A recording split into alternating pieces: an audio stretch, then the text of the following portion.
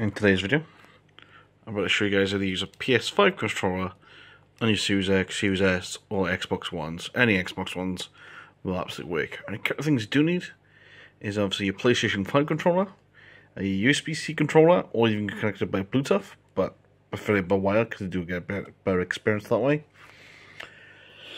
Uh, you need a laptop with the Xbox app installed, so either Windows 10 or Windows 11 preferably Windows 11 because you want to get the better. You also want to download Windows, uh, sorry, DS4 Windows for um, for the drivers for the PS5 controller, so it acts more like a Xbox controller. Because the minute you try to connect the Xbox controller without these drivers, that it doesn't really act like an Xbox controller. So you kind of need these drivers to get like this PS5 controller and even the PS4 controller to act like an Xbox controller. So these drivers, it's not going to work.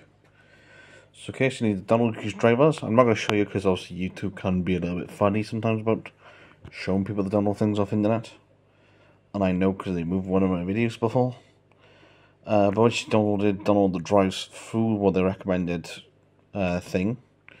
Obviously, when the DS4 Windows open up, should look like something like this obviously if it says start on the bottom, once your controller is connected, then you click start, and it makes the controller act.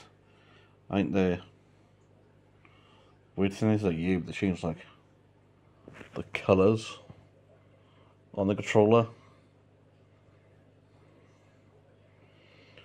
But yeah, that's, that's like a cool little feature they added in, which didn't realise that until now. So obviously if I click stop, my controller will just turn off and nothing pops up. But when it turn on, they'll show up and the controls on. The other thing else you need then is the Xbox app, which should be already pre-installed with any Windows machine you buy these days. If not, you could just download it for the Microsoft Store. Again, I'll leave a link to the Xbox app as well as to the drivers of the PS4 controller, just in case there's any problems.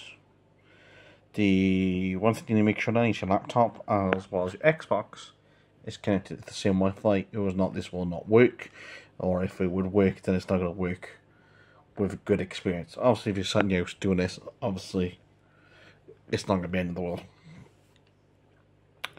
So, want to turn on your, just click stream your Xbox. Now you stream your Xbox.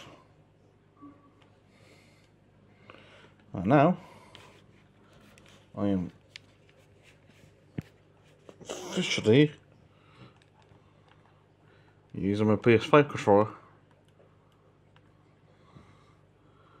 on my Xbox for free with one of drivers downloaded for my laptop and all rest. Uh, or two, what, one app, one bunch of drivers, and boom, completely for free. So if you want to use your PlayStation 5 controller on your Xbox for free, this is how to do.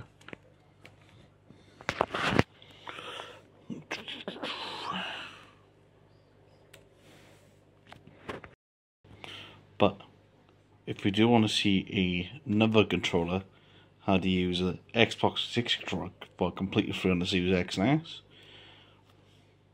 go and check it out. It is another video completely free method to do. So I 100% you surely go and check it out. And I will see you in that video. This video right here. Or right here. See video? Did you see that video? It's right here. It might be right here. It might be right over here. I don't know. But right away. See you in that video. Bye for now.